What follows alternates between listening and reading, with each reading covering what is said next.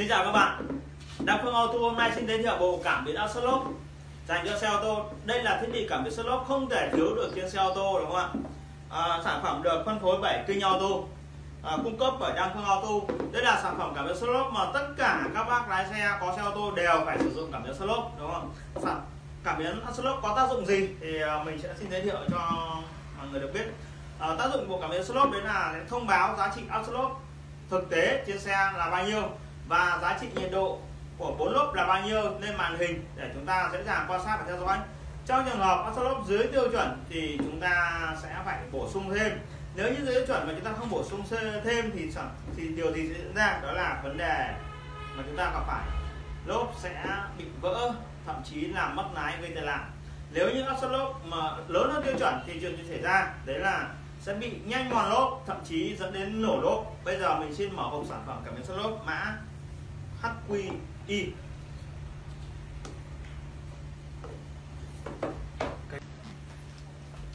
đây là bộ cảm biến axle dành cho xe tất cả các loại xe.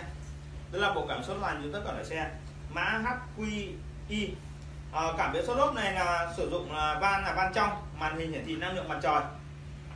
Màn hình hiển thị năng lượng năng lượng mặt trời này nó có cái ưu điểm đấy là thời gian sử dụng màn hình này được rất lâu thậm chí là hai tháng 3 tháng chúng ta mới phải xài thêm một lần. À, mình xin giới thiệu về màn hình này. Thì à, màn hình này trên này gồm có bốn nút. Trên mặt đỉnh màn hình gồm có bốn nút. Phía bên tay à, trái có lỗ cắm cổng USB để dự phòng khi trong ngọc mà bị à, hết hết điện. Ở trên này là bản thu mặt trời. À, có nút mở nút cài đặt nút mở và nút cài đặt này rất dễ dàng sử dụng. Ờ, sản phẩm nhỏ bé và dễ dàng sử dụng. À, chúng ta bấm nút mở giữ 5 giây thì ngay lập tức màn hình sẽ được mở ra. Bấm màn hình sẽ tắt đi. Ok. Ngoài ra thì ờ, đây là băng cảm biến bên trong rất xinh và dễ dàng lắp đặt. Tất cả các quán lốp Michelin lốp tiệm thay lốp đều có thể lắp đặt bộ cảm biến áp suất này bộ van được thiết kế rất tinh xảo và hoàn thiện chính xác cao. Độ hoàn thiện chính xác rất cao đẹp đến từng chi tiết một. Rất tuyệt vời đúng không ạ? Bộ hiển thị áp suất lốp này sẽ hiển thị được uh, áp suất lốp nhiệt độ của lốp và có thể cài đặt được áp suất lốp vượt quá tiêu chuẩn và thấp hơn tiêu chuẩn. Thường thì nhà sản xuất đang để là 1,83 đến 3,03 nếu áp suất lốp nhỏ hơn 1,8 cân thì ngay lập tức sẽ có cảnh báo báo động. Nếu áp suất lốp vượt quá 3,0 thì ngay lập tức cũng sẽ có cảnh báo báo động.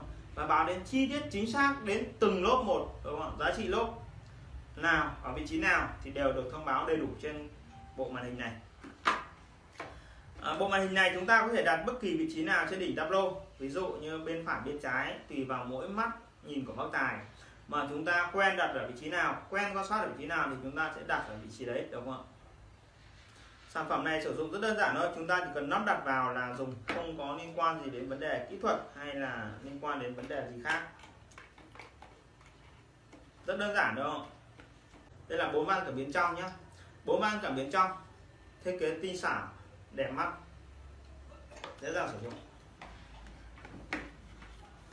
Thông tin đặt hàng quý khách có thể liên hệ vào truy cập vào website cây shop auto.vn hoặc uh, kênh Facebook Đăng Phương Auto thì ngay lập tức sẽ có chuyên viên để tư vấn sẽ hướng dẫn lắp đặt rồi giao hàng quy trình như thế nào rất đơn giản thôi. Xin cảm ơn.